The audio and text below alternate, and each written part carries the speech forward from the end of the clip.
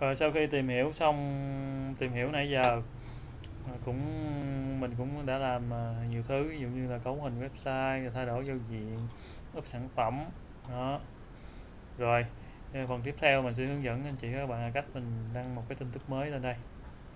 Như thế nào? Giống như đăng sản phẩm thôi, đơn giản vô cùng, vô đây mình chọn là quản lý lóc đó, quản lý lóc rồi xong mình tạo bài viết.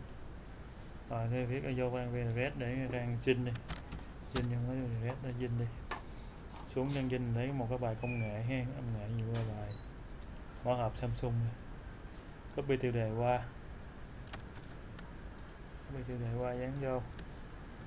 Tiêu đề vô rồi copy nội dung.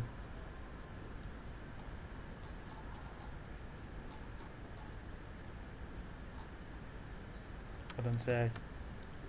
Ctrl V vô rồi, lấy một tấm hình nào đẹp đó để là mình hình đại diện. Đâu ảnh rồi, qua đây. Chọn vô.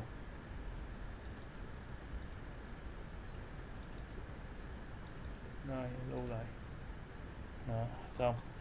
Rồi, mình à, sẽ à, xem thử. Xem thử.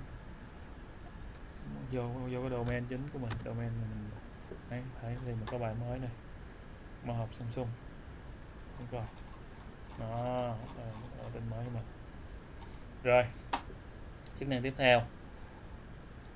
Chức năng tiếp theo thì mình uh, sao nhận nhận xét khách hàng. Cái phần này thì mình làm sao đây ha.